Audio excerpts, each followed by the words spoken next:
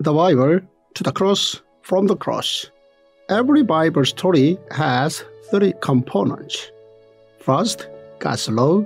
Second, God's compassion. Third, God's miracle. Opening your Bible opens miracles. The Bible as one story is wholly enough in our lives. Day 136, Job 20 to 21. The reason Job's wealth disappeared. The mind of the friends who did not understand Job's condition did not have love and care for Job, which was what Job needed desperately. First point When Job had no energy to listen to his friends any longer, Job started to spur up his argument. The suffering that Job was enduring was one that no one could relate to. All the things that had happened to him were beyond one's imagination. But Job's friends, who had never experienced anything similar, were eager to discuss and interpret the reasons behind his suffering. Job claimed that Job was a sinner and started to talk about God's righteous trials. When Job disagreed with him, Job became angry again and started to say, My troubled thoughts prompt me to answer because I'm greatly disturbed. I hear a rebuke that dishonors me, and my understanding inspires me to reply. No matter what Job said to Job, Job was a sinner.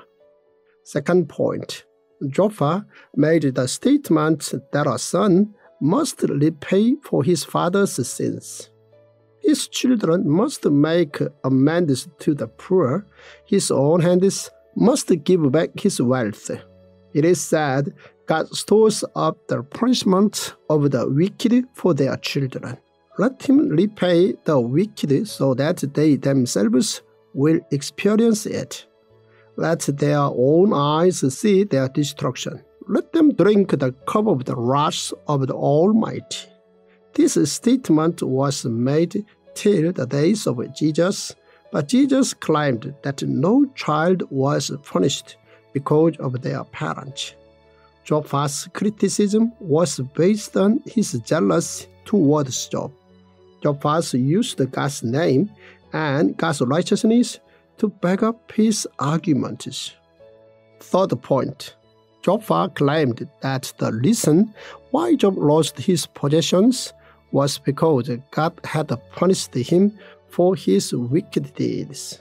Job was someone who continually made offerings to God in the thought that his children may unknowingly commit sin in front of God because of his wealth. In fact, Job's wealth had nothing to do with his situation. But Job made a connection and moreover related this to God's trial. Job lectured that a wicked could prosper for a while, but that they were bound to perish. What he was saying was that Job was headed in the way of the wicked. First point regarding the righteous being blessed and the wicked being punished, Job had different thoughts to his friends. To Job's theory, Job disagreed. Job furthermore told his friends that their arguments were wrong. Job told them that Job's statement that the righteous will prosper and the wicked must perish was a one dimensional interpretation. Job told them that causality was a limited theory and that there were real cases of the wicked prospering. Job's friends condemned Job, but they spoke like they had no sins themselves. They did not look back on their sins. They were extremely critical of Job, but very generous to themselves. Fifth point Job claimed that a wicked person's punishment could be postponed, and that a righteous person could die along with the wicked. Job realized that the one who can give happiness and suffering was God, as Job was someone who experienced both in extreme measures, he was able to realize this. Oh, the depths of the riches of the wisdom and the knowledge of God. How unsearchable his judgment is, and his paths beyond tracing out. Who has known the mind of the Lord? Or who has ever given to God that God should repay them? For from him and through him and for him are all things. To him be the glory forever. Amen. I am thrilled that you have downloaded the Tongdok app. The Tongdok app is not like any other app in the world today, as well as in the body of Christ today. Dr. Byoungho Zoh has devoted his entire life to teaching men and women like yourself to understand the entirety of the Word of God as a masterful and beautiful story from Genesis to Revelation.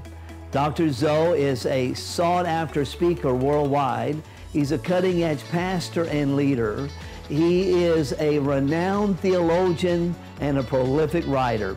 And you're going to be equipped and energized like never before to understand and apply the Word of God into your life. Again, thank you for downloading the Tongdok app.